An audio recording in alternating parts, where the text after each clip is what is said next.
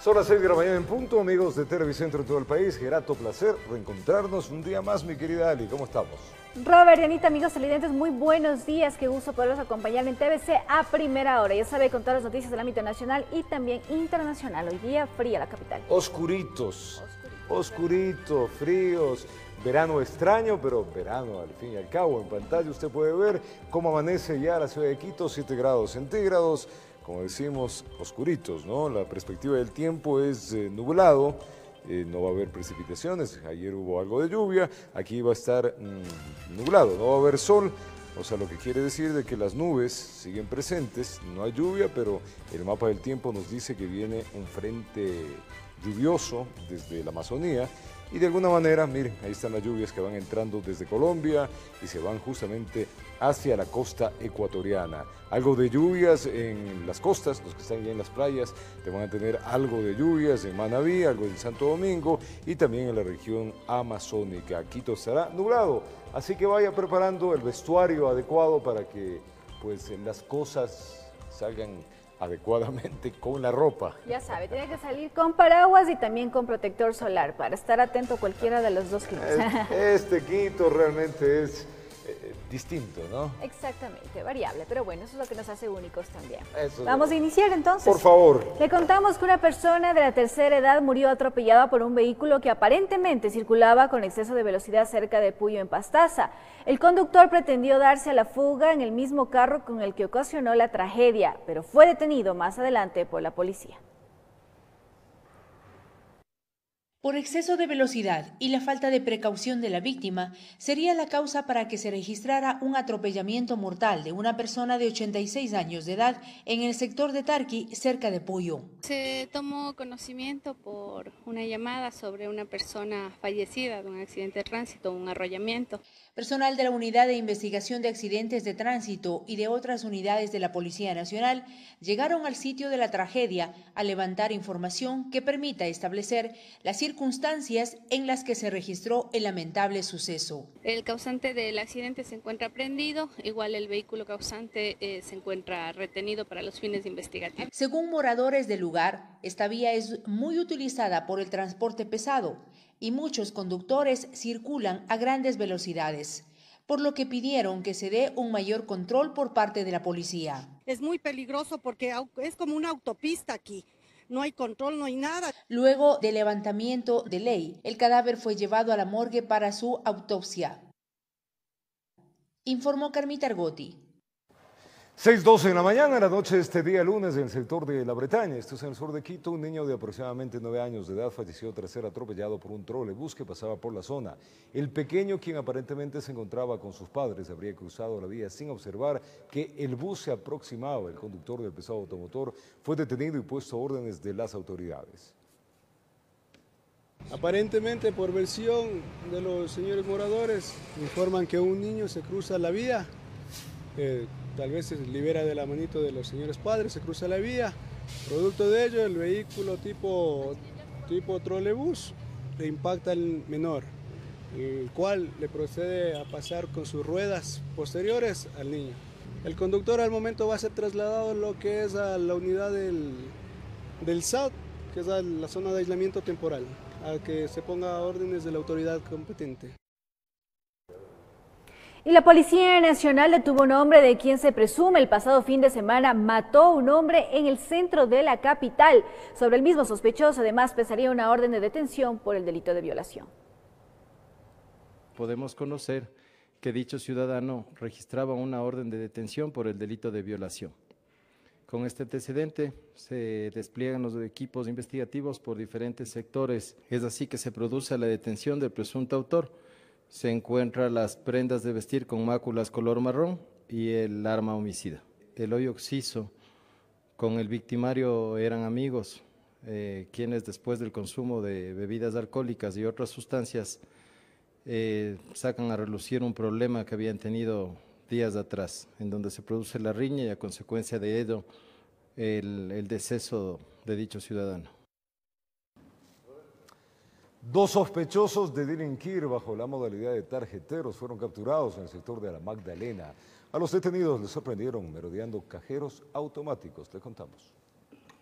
Al parecer estaban atentos a los movimientos de quienes hacían uso de los cajeros automáticos, aprovechaban un descuido de los usuarios para estirar la mano y la cabeza y en cuestión de segundos se apoderaban de la tarjeta de débito. No supieron justificar la procedencia de estas nueve, nueve tarjetas de débito, así como el dinero y los celulares.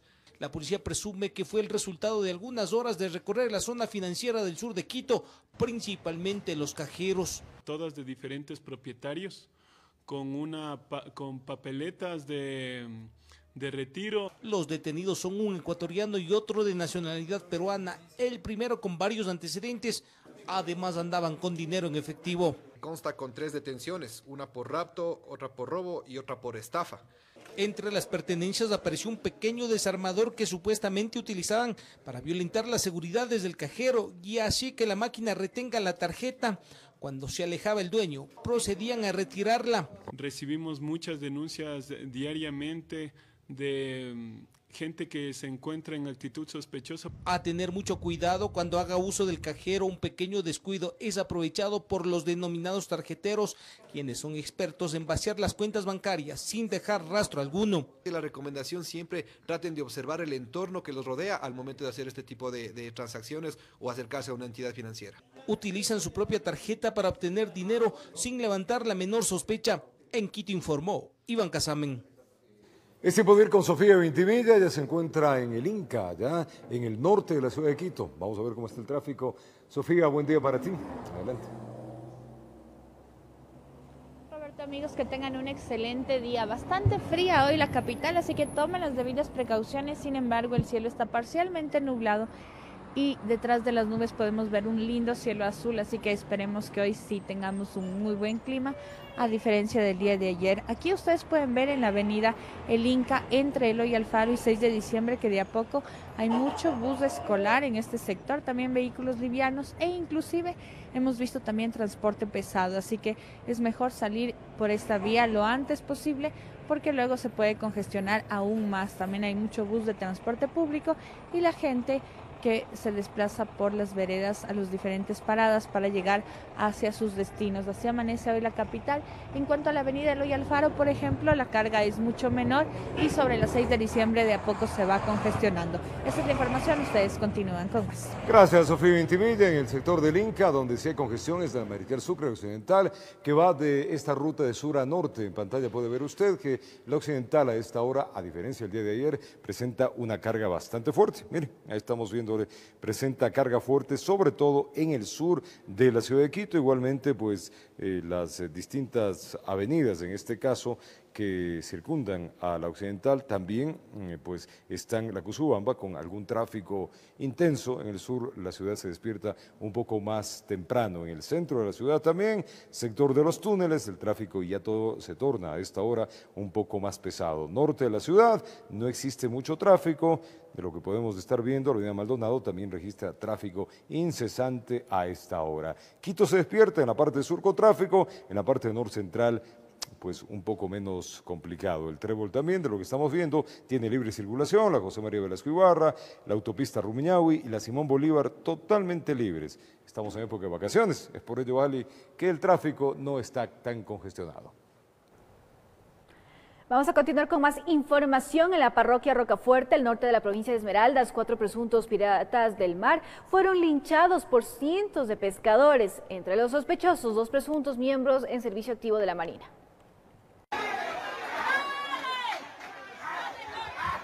En la parroquia el rumor que cuatro presuntos piratas de mar eran perseguidos por vía fluvial activó a los pescadores. Muchos salieron en sus lanchas al operativo de captura. Para mala suerte de los sospechosos se metieron en la boca del lobo en desventaja numérica. No les quedó otra alternativa que parar la marcha de la fibra en la que huían. Los manes de la tola dijeron que los manes habían botado las armas. Las armas las habían botado. Ah, no tenían armas.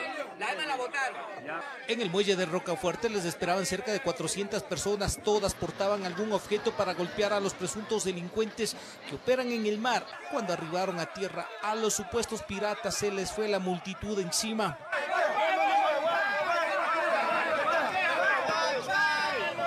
Les agredieron a patadas, puñetes, con palos, fierros, incluso habían quienes portaban armas cortopunzantes. El populacho estaba enardecido solo quería acabar con los supuestos delincuentes. Enfurecidos, querían hacer justicia por sus propias manos.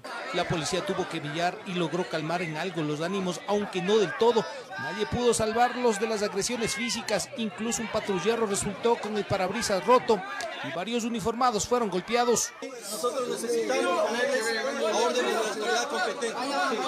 Portaban recipientes en el cuyo interior posiblemente existía gasolina. La intención de los ciudadanos era agredir a los detenidos y posiblemente incinerarlos. Aparentemente lo que más ira causó a los pescadores fue saber que dos de los detenidos eran presuntamente miembros activos de la Marina, es decir, los encargados de brindarle seguridad eran sus propios verdugos. Encontraron prendas militares, arma de fuego y un cuchillo como evidencias. Eh, pertenecientes, según eh, manifiestan, a las Fuerzas Armadas, eso será verificado. En esta ocasión la suerte los acompañó, salieron con vida. En Quito informó Iván Casamen. 6 de la mañana y 11 minutos asesinan a una mujer. Esto pasó en el Cantón Milagro, allá en la provincia de Guayas. La víctima tenía 15 días de haberse separado de su conviviente, quien fue detenido, acusado de este crimen. Según la denuncia, este sujeto la asesinó porque ella no quería regresar lamentablemente con él la violencia. Veamos. El hecho se registró en los exteriores del centro educativo donde estudiaba uno de sus hijos en el Cantón Milagro. La joven madre de 36 años fue asesinada con varias puñaladas propinadas presuntamente por el hombre con el que convivió durante 25 años. Cuando yo pasé, la vimos a la chica con una puñalada, una aquí se le vio nada más. Dice que son dos. Aquí le esperó a la chica, venía retirando al niño de la escuela. Y ahí, y aquí le esperó, y ahí dice que la ha cogido, pero ya lo han cogido por allá. La policía recibió información sobre el móvil de este crimen. La cual había ha sido víctima de su conviviente con un arma blanca fuera de la unidad educativa. Supuestamente han peleado 15 días y, y ya, y así en cambio, en cambio, en cambio de la familia, hasta que le vino a dar muerte a mi prima. Ella es mi prima. Estaban separados 15 días peleados, pero no era para que había cometido semejante error que hace con mi prima. Yo tengo los mensajes como él la amenazaba. Y él esperó, esperó que ella venga de, solita porque hoy no pude acompañarla. Y él esperó y que venga sola para poderla acuchillar, que la iba a matar, que si no regresaba con ella verá lo que le iba a pasar. Y ella decía que ella no quería vivir con él porque era tantos años, son más de 25 años que ella tiene con él y siempre le aguantaba todas estas cosas. Entonces ella se cansó y se fue a vivir a la otra casa de mi mamá. Y de ahí él comenzó a amenazar, se iba a tomar y la amenazaba, le hacía así, pero nunca. Ella por eso le acompañaba a sacar la boleta de auxilio, pero justamente hoy espero que. ¿Cuál sería el motivo, doñita? El implicado fue capturado unas cuadras más adelante. Fue detenido con, con ayuda de las personas civiles, el personal del grupo motorizado actuó inmediatamente. ¿Alrededor de cuántas sido? Eso está por verificarse, por favor, les pido que tengan paciencia, ahorita comienzan las investigaciones en este momento. Posiblemente estaríamos hablando de un femicidio. Se actuará con todo el rigor de la ley. En estos casos no pueden quedar en la impunidad. En medio del dolor de sus seres queridos, el cadáver de la mujer fue trasladado hasta la morgue para la autopsia respectiva, informó Roselena Vázquez. Y en el terminal terrestre de Santo Domingo, un ciudadano colombiano murió tras ser apuñalado. La víctima habría sido agredido por tres sujetos aparentemente venezolanos. Uno de ellos fue detenido. Los andenes de partida de la terminal terrestre de Santo Domingo se convirtieron en el escenario de un crimen internacional. Allí, un ciudadano colombiano fue acuchillado por otro de nacionalidad venezolana. Lamentablemente le causan una herida mortal en donde este último pierde la vida. El nombre es Jiménez Sarmiento John. Al parecer, John Jiménez estuvo junto a tres venezolanos trabajando como comerciante los últimos días en Tierra Colorada. Pero hoy, antes de partir, surgió un conflicto entre ellos por el supuesto robo de un celular. Dice que le había robado un teléfono al hijo, pues se fue la, la pelea. Ha robado en la, en la feria, dice. En la feria, pero no se sabe cómo sería la situación. El señor que está detenido dicen que desde el cuarto han venido con el problema. Presintiendo quizás la furia de sus socios, Jiménez quiso escapar en un bus, pero antes de abordarlo fue agredido. A- Al parecer quiso subir a una Kennedy, pero no, no a viajar nada me parece, sino más bien como escapatoria.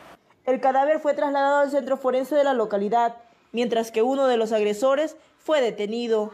Eh, estamos haciendo todas las coordinaciones y toda la investigación necesaria con la DINASET para tratar de esclarecer el, el hecho. Y... Hasta el cierre de la presente edición, la policía continuaba investigando el caso. pues se presume que quien dio las puñaladas aún sigue prófugo. El momento que se, la agresión todo es de la parte de afuera y se, son tres personas. La una persona está detenida y los otros dos se lograron escapar.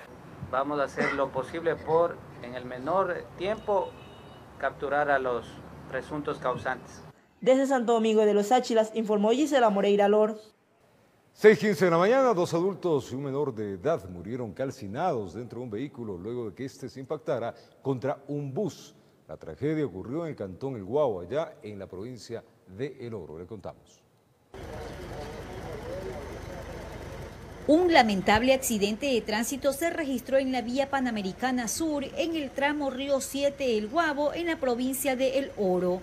Tres integrantes de una misma familia murieron calcinados luego de que el vehículo liviano en el que viajaban se impactara contra un bus de una cooperativa de transporte interprovincial que cubría la ruta Guayaquil-Machala. Es un choque por alcance, existen dos vehículos involucrados, eh, me indican que es una cifa y al momento un, un auto que se encuentra incinerado.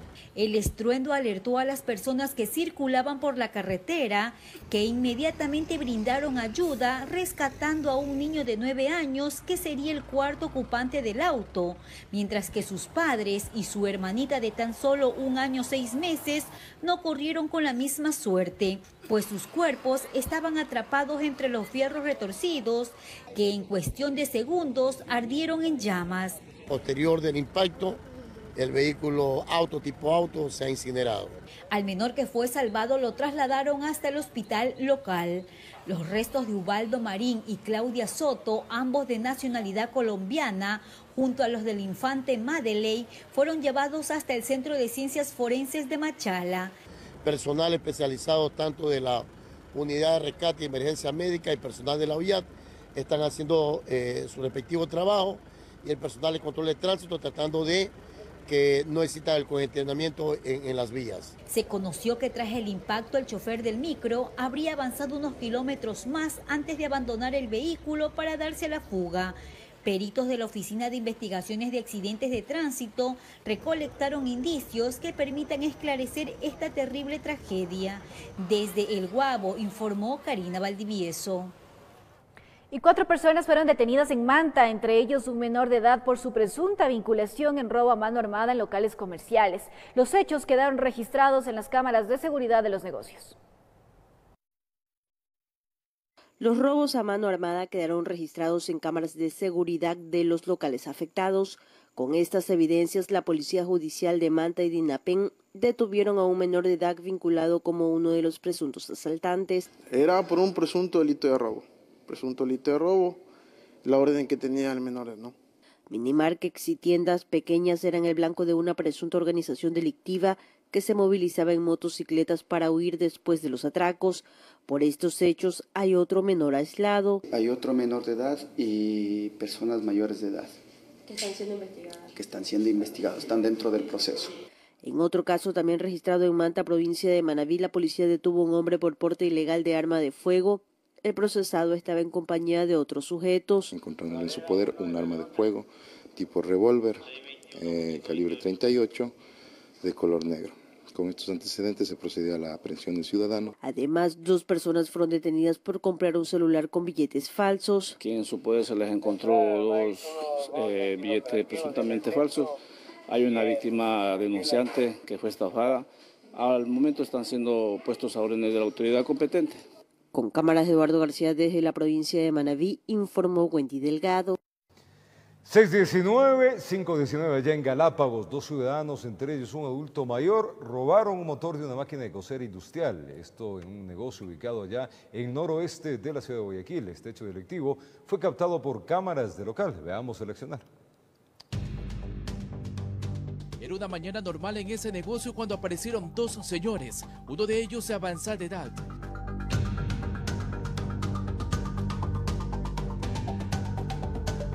Después de cotizar algunas máquinas de coser. Uno de ellos terminó llevándose un motor de estos equipos de confección, valorado en aproximadamente 200 dólares.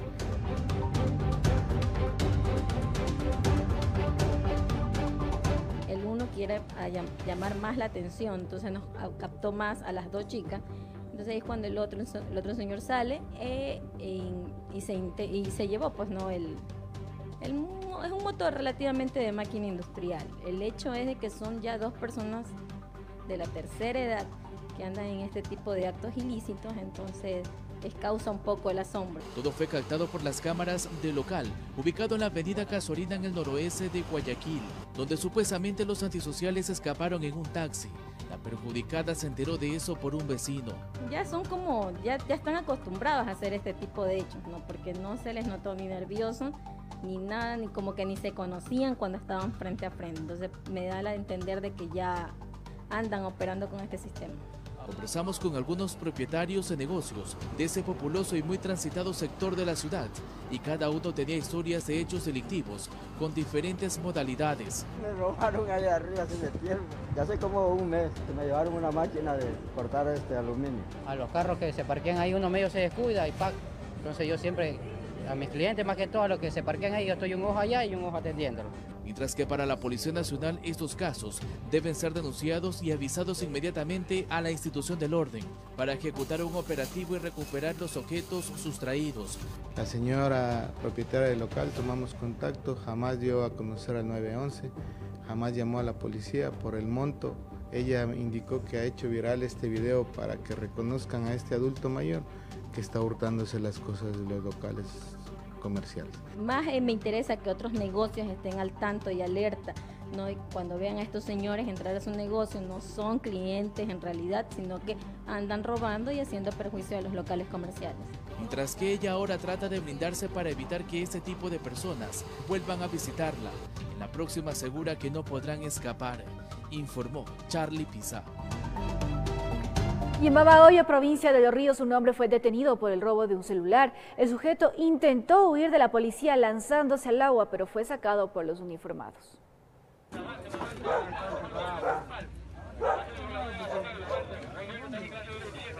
No es el primer antisocial que para evitar ser capturado por la policía decide lanzarse a las aguas putrefactas de la sabana en Babahoyo. Lo acusaban de haber robado un teléfono móvil a una mujer de un sector cercano. Ella alertó a la policía que empezó a seguirlo y por eso no le quedó más que procurar ocultarse entre los lechuguines presentes en el agua que permanece estancada siempre en este sector. ¿No tienen una camioneta? Ahí está la. Se necesitaron aproximadamente 30 uniformados entre motorizados y servicio urbano para lograr esta captura. El hombre fue sacado en ropa interior.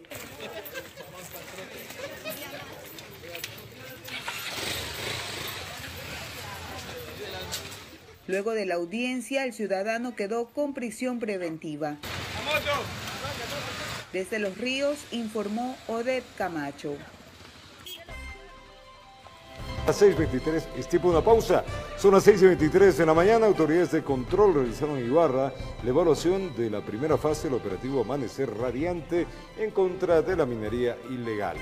Además, les contamos que presentan oficialmente el pedido de juicio político en contra de Carlos Tuárez. Y regresamos con esta información y mucho más.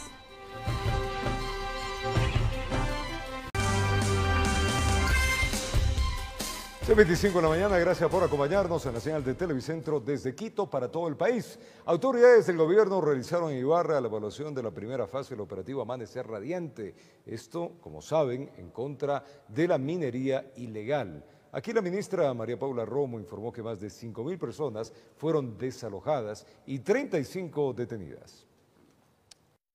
Los que salieron de las minas, así como de Ciudad Plástico, la Feria y la IE de San Pedro apenas permanecieron unas cuantas horas en el centro poblado de Buenos Aires.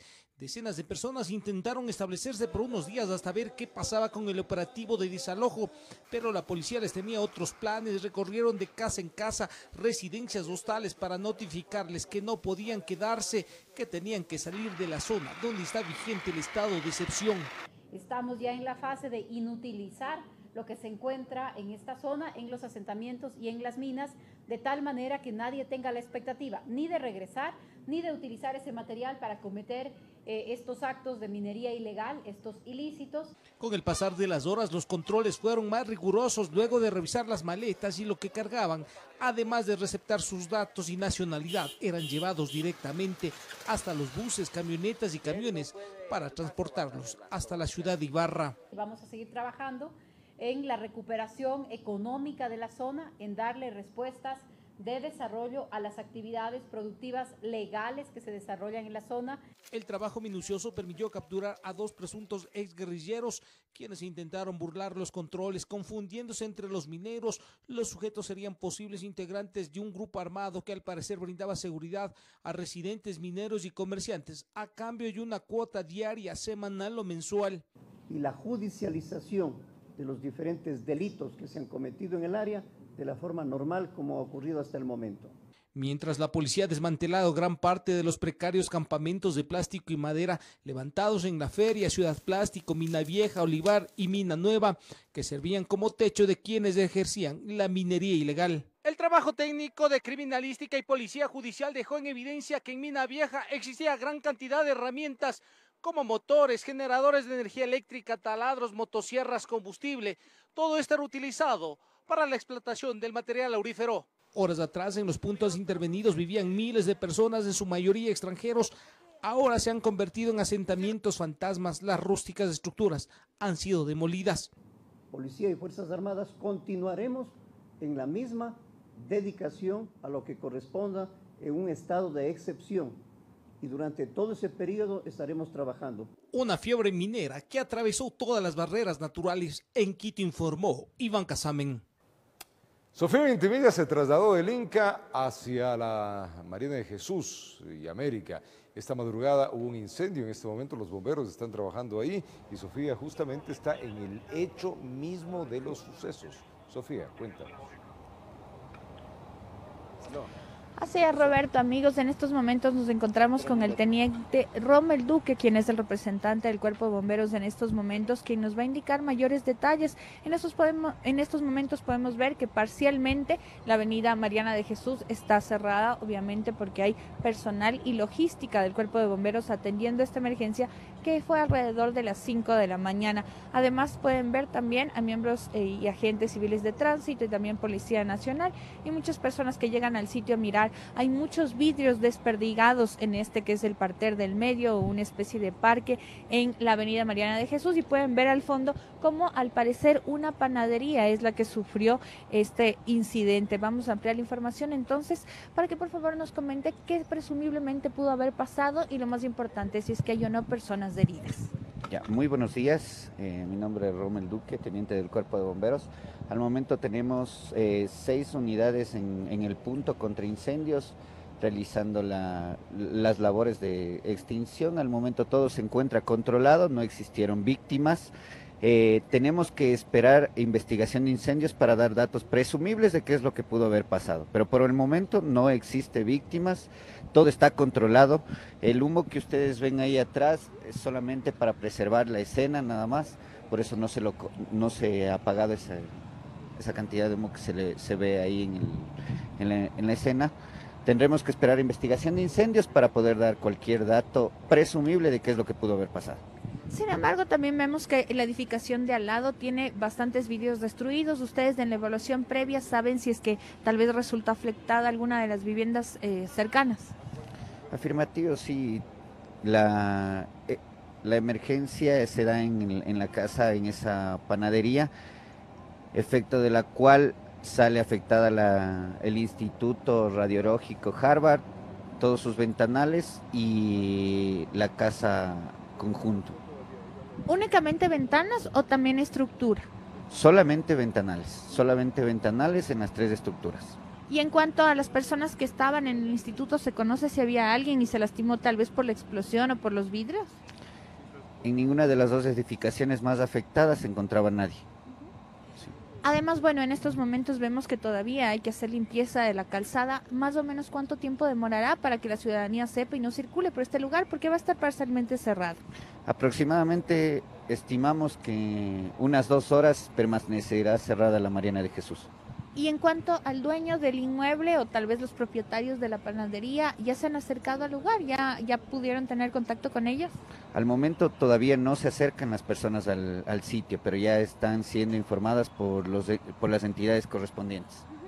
Le agradecemos muchísimo. Bueno, ustedes pueden ver entonces en estos momentos cómo se están realizando la, limpieza. También hay mucho eternid en la calzada, lamentablemente. Según lo que nos ha comentado varias personas que escucharon parte de, de esta explosión, sería al parecer por una bombona de gas que se produjo este siniestro. Sin embargo, ustedes escucharon a las autoridades que han señalado que van a investigar el hecho para determinar en realidad cuáles habrían sido las causas de este incidente. Para quienes van a transitar por este lugar en el norte de la capital, hacerlo alrededor del mediodía porque seguramente un par de horas no podrán subir por la Mariana de Jesús hacia la Avenida América. El otro carril está totalmente habilitado, es decir, desde la América para la 10 de agosto, por ejemplo, no hay ningún inconveniente. Esa es la información, Roberto, ustedes continúan con más. Sofía, la vía de abajo, la de la esquina es la Ulloa, ¿está cerrada la Ulloa?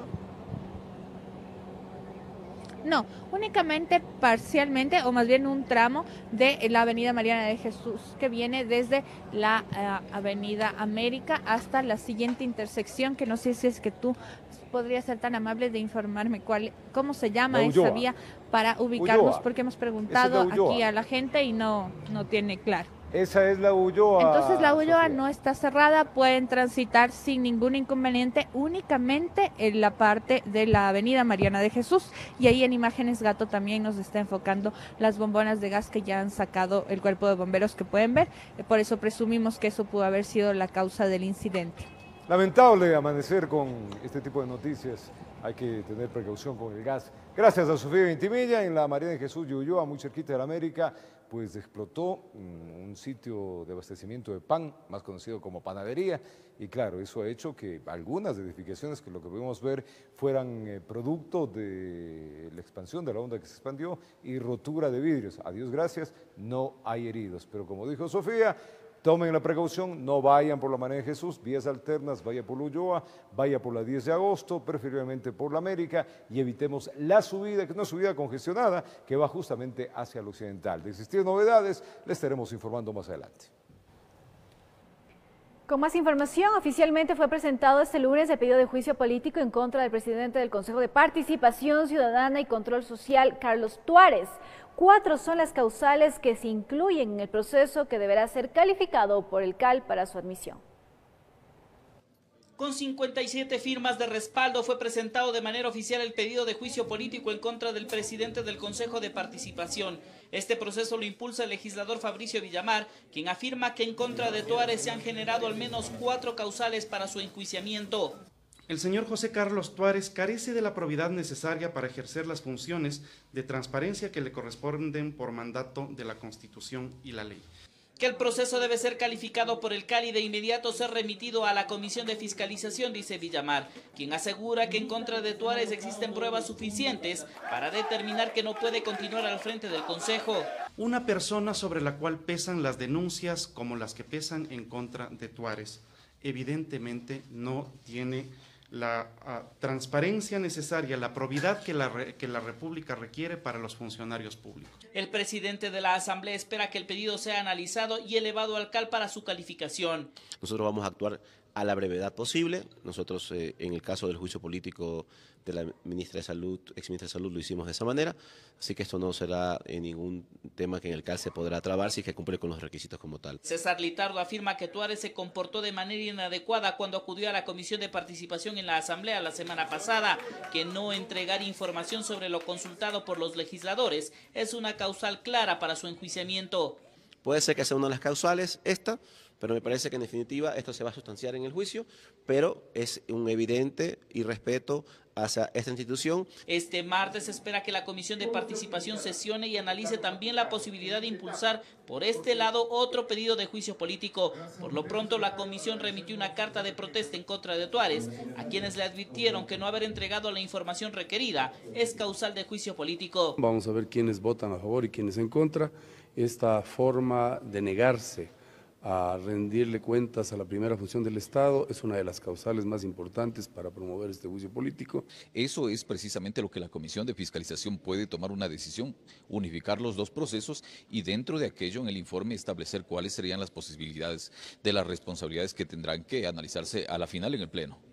En todo caso, el primer proceso en contra del presidente del Consejo fue presentado y se espera que el CAL se reúne en las próximas horas para definir si acepta o no a trámite este pedido, informó Javier Gallo. 6.36 en la mañana, mucha atención. El próximo martes la Asamblea definirá qué camino tomar para impulsar un cambio constitucional que limite las funciones del actual Consejo de Participación. Este día lunes los jefes de la bancada mantuvieron una reunión con el presidente de la Asamblea para analizar el tema. Le traemos los detalles. El primer paso para impulsar una reforma constitucional se dio en la Asamblea con la sesión a la que asistieron los delegados de cada una de las bancadas legislativas. También llegaron los asambleístas proponentes y el presidente de la Asamblea. Tras cerca de tres horas de sesión, los resultados. Un primer acuerdo es que la Asamblea irá por el camino de reducir funciones al Consejo, más no eliminarlo. Eh, no hay la, la intención de eliminar el Consejo de Participación Ciudadana lo que hay un consenso claro en de limitar las funciones de este Consejo, sobre todo en el tema de la designación de autoridades, tanto de control como de justicia, y a su vez también lo que tenemos que encontrar es el camino, si será vía enmienda o vía reforma, cuál va a ser el procesamiento que nosotros plantearemos desde la Asamblea hacia la Corte para que eh, nos pueda dar su dictamen al respecto. Hasta el próximo jueves los legisladores deberán remitir un proyecto de resolución para que se analice y sea elevado al Pleno. Y solo en la sesión plenaria que podría ser convocada el próximo martes se definirá si la Asamblea escoge el camino de reforma o enmienda constitucional. En conjunto, bajo una resolución del Pleno, vamos a tomar una decisión de enviar esta enmienda a la Corte Constitucional para que ella decida su camino adecuado. Así manda el 441 de la Constitución de la República. Aplicar una enmienda para reducir las competencias del Consejo y devolverle a la Asamblea la facultad de elegir autoridades tomará al menos un año. Acá dicen estar conscientes de esto, pero afirman que este camino es el más seguro para dar viabilidad a la propuesta. Al no haberse afectada la estructura del Estado, sino que se sostendría y se mantendría un Consejo, eh, evidentemente no se está afectando ninguna parte de la estructura, sino que eh, se está haciendo una limitación de las competencias y, y eso cabe como una enmienda de acuerdo al artículo 441 de la Constitución de la República. Se espera para el próximo jueves una reunión y el próximo martes el tema sería colocado en el orden del día para tomar una decisión final, informó Javier Gallo. Y la noche de este lunes 8 de julio fue publicado en el registro oficial el fallo de la Corte Constitucional que legaliza el matrimonio igualitario en Ecuador. La publicación se hace 26 días después de su aprobación, luego de que el más alto tribunal del Ecuador resolviera recursos planteados legalmente, los mismos que fueron analizados y negados por ser considerados improcedentes. De esta manera, Ecuador se suma a Argentina, Brasil, Colombia y Uruguay en el reconocimiento del matrimonio igualitario en Latinoamérica. Vamos a contarles ahora que pruebas de descargo en caso del exministro de Salud Verónica Espinosa fueron recibidas por la Comisión de Fiscalización de la Asamblea Nacional dentro del proceso de sustanciación de este juicio político. La interpelante del mismo, la legisladora Mae Montaño, indicó entre otras causales para la censura el incumplimiento en las funciones sobre vigilancia y control sanitario vulnerando la garantía de la salud sexual y reproductiva de la población. Veamos.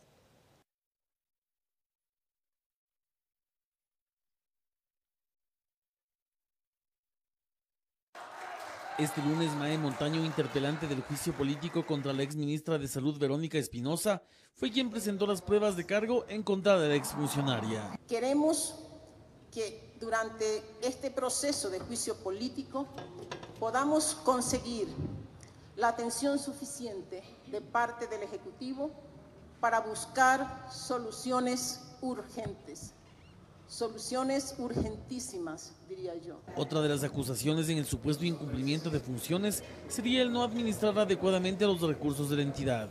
Preguntas que surgen de la actuación de la ministra. ¿Cómo es posible que se ingrese un dispositivo al sistema de salud que no cuenta con registro sanitario, pues no se tomen las precauciones necesarias mínimas para poder realizar la vigilancia y control adecuado? Montaño acotó que se distribuyó insumos en mal estado para la detección de VIH. Se insertaron dispositivos para detección del VIH que podrían arrojar falsos positivos y negativos todo bajo la mirada cómplice del Ministerio de Salud Pública y la ministra a cargo. Finalmente dijo que en los temas de insumos y medicamentos como los del VIH también se presume posibles irregularidades en los procesos precontractuales y contractuales, que van más allá del control, la vigilancia de la distribución del bodegaje, transporte y dispensación, temas del cual están pidiendo a la Contraloría se haga cargo, informó Javier Rosero. En otros temas, la presión mediática de Coavisa ha generado rechazo a nivel internacional.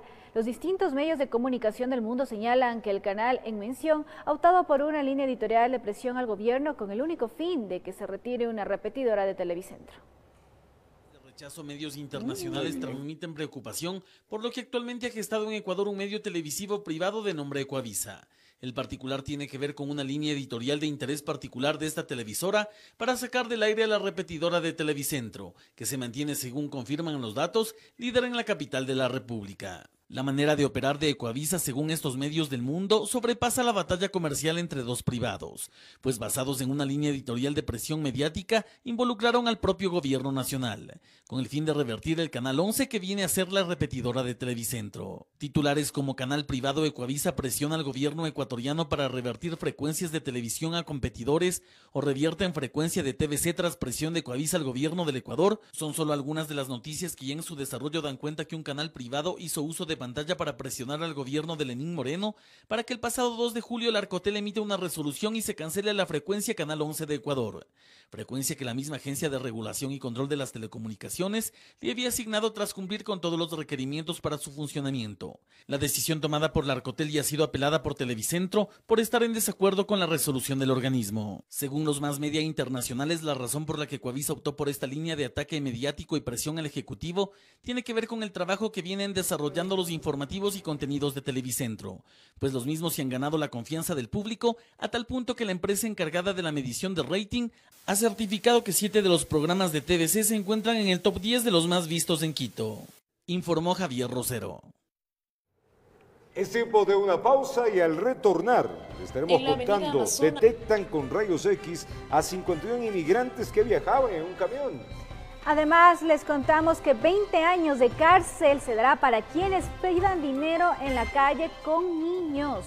Y regresamos con esta información y mucho más. Vamos a cambiar de tema, preste mucha atención.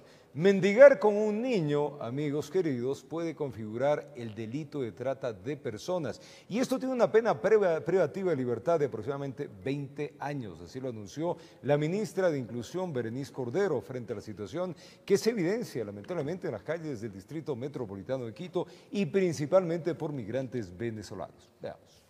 En la avenida Amazonas, norte de Quito, encontramos a Sergio y a su hijo Raúl, de nueve años. Ambos piden dinero y trabajan para poder subsistir. Salieron de Venezuela para buscar mejores días. En la casa con quien lo dejo, prefiero andar, por lo menos él me ayuda por los juguitos, ¿no? Pero él está tranquilo, gracias a Dios. Yo sé que es penado, pero tengo que seguir adelante con ellos.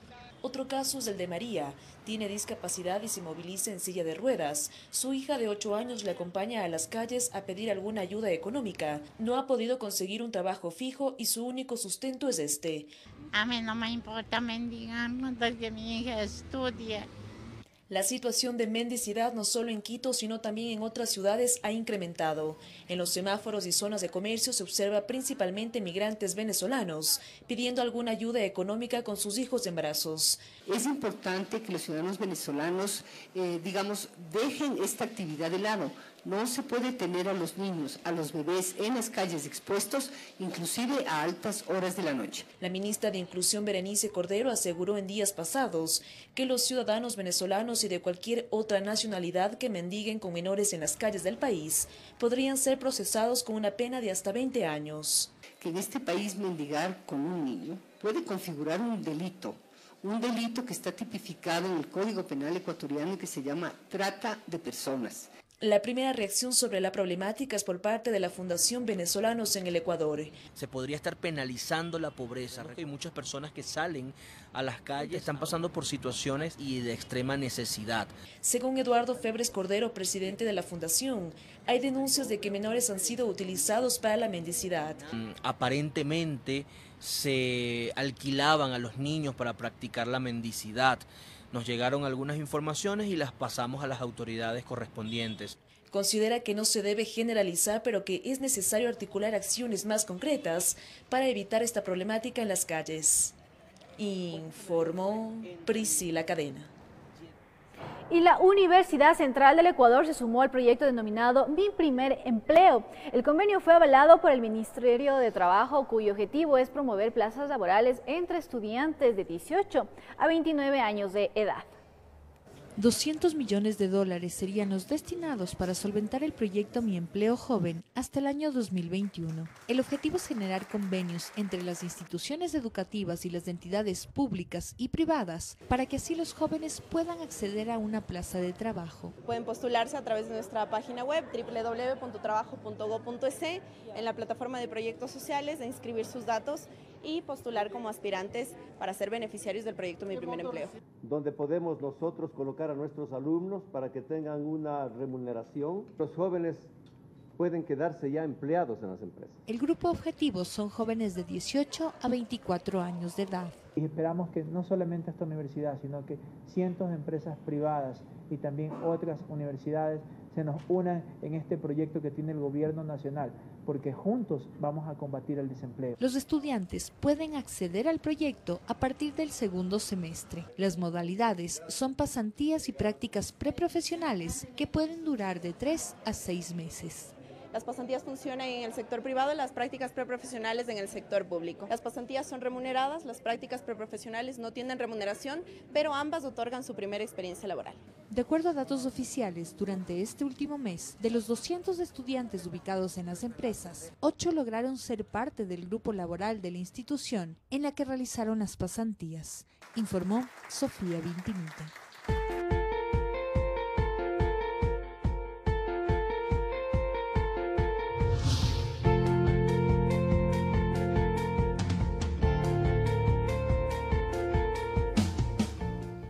Si a su hija le gustan las acrobacias o la gimnasia, escuche bien, curso vacacional para cheerleaders, de verdad. Y eso yo sé que a las niñas les encanta. Es el indicado, ya que podría demostrar todas sus destrezas, además de aprender junto a grandes profesionales en este ámbito. Algo que para este verano hay que tomarlo en cuenta. Le traemos.